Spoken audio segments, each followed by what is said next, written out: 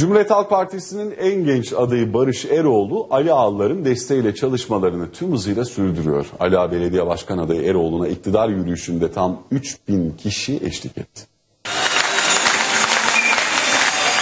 Ali Ağa CHP Belediye Başkan adayı Barış Eroğlu hem vatandaştan hem partisinden büyük destek görüyor. Cumhuriyet Halk Partisi Ali Ağa örgütünün düzenlediği iktidar yürüyüşüne İzmir milletvekilleri Mustafa Balbay ve Mustafa Moroğlu'nun yanı sıra CHP İl Başkanı Ali Engin ve yaklaşık 3000 Ali Ağalı katıldı.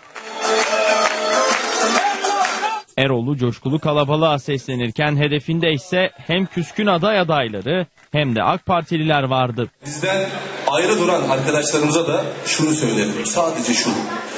Cumhuriyet Halk Partisi'ne verilen her oy AKP'nin tabutuna çakılan bir çividir arkadaşlar. O çivi çakacağız biz çakacağız. Ben olmazsam benden sonrası benden sonrası tufan deniliyor. Öyle bir şey yok. Biz bu seçimleri vura vura vura alacağız arkadaşlar. Genç aday rakiplerine de hodri meydan dedi. Ali Ağa aydınlık insanların kentidir. Ali Ağa bilinçli insanların kentidir. Ne söyleyeceğini, ne yapacağını şimdiden söyleyeceksin. Başkan olduktan sonra değil. Şimdi bizim gibi söyleyeceksin hemen. Sevgili seyirciler, İzmir'in Ödemiş ilçesinde ortaya çıkan 2300 yıllık mezarlık görenleri şaşkına çevirdi. Antik